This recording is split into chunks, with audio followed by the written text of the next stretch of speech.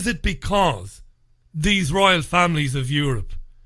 Is it because they are different? Because they're not human. I don't want to sensationalize this. I don't want to uh, sound stupid. I don't want to embarrass you. Is it because they're genetically different to us? I think it, that is exactly why. I think that they know what we don't know. They know that they are not actually human. And there was on on the Tonight Show with uh, with uh, Jay Leno a couple of years ago. There was a uh, a, a television show called what was it? It was the um, uh, oh, what was the name of the TV show that was interviewing Prince Charles? It was uh, 60 Minutes. 60, 60 Minutes, that's minutes. the one, yeah. Yeah, and, and Prince Charles was on 60 Minutes being interviewed. And the, and the and the guy from 60 Minutes asked Prince Charles a question that he didn't like. He was not happy with being asked this particular question. And when the and when this interviewer asked Prince Charles the question he didn't want to hear, Prince Charles looked at him and squinted his eyes and hissed like a snake. He kept hissing at, at the at this uh, interviewer. He's not right. Like a snake. And I was I was shocked and it was so incredible that Jay Leno had that piece put on the on his show one night. He was talking about about reptile aliens, and he said, and he said, watch this video of Prince Charles, and you tell me what's going on. and he showed the, uh, and it was a piece from 60 Minutes interview where the interviewer asked Prince Charles something he didn't want to he didn't want to be asked.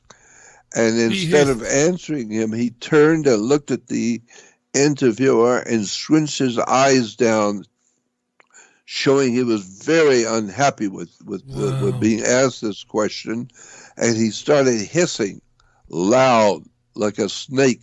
He hissed and hissed at this at this interviewer and that was pretty incredible. People in the audience were knocked out. They couldn't believe it that here is Prince Charles, the epitome of royalty. Yeah, the heir to the throne. Like a snake. Hey, we've got to dig that clip out. Um, I, am I'm, I'm going to go look for it later on after the program. I've wow. got it. I You've saved it. it. I could. I got it, and I saved it and I can send it to Do, you. Jordan, send it to me. Yeah. And, and I would love for you to watch it and you tell me what's going on. Do you know what's interesting about that? Prince Charles hissing like a snake. I'll definitely watch it. You, your old friend, and my old friend David Icke, many, yep. many, many years ago, was on a UK television program, and he was in the green room, and the former Prime Minister of the UK, Edward Heath who was a Satanist and a child murderer. This is true. Edward Heath was a child abuser, and children were murdered when he when when he um, had finished abusing them.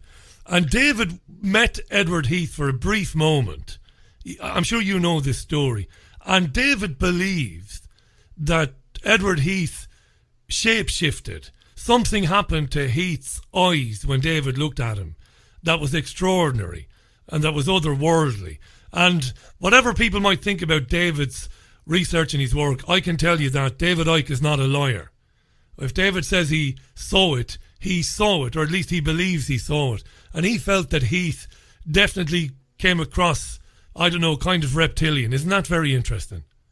I think so, because that's what uh, Prince Charles was hissing like a snake he went out of his way to be very, very obvious of hissing, and he kept hissing at this at this in, interviewer on 60 Minutes, and it was an extraordinary experience of people watching with, with Prince Charles hissing like a snake, and and so that's why I think, and I have always believed, and I've said this publicly at lectures I I was on the stage with with uh, David when he came to America uh, I got him to speak at a conference, and I was on the same conference, and I was there too.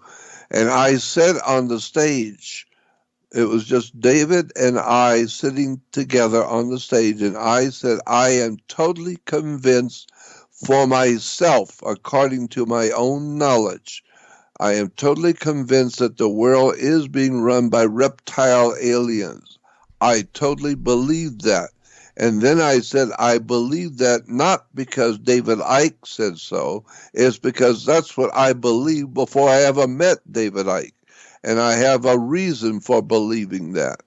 And uh, and I've been doing this kind of research all my life, and that's, that's what I believe because I've seen it.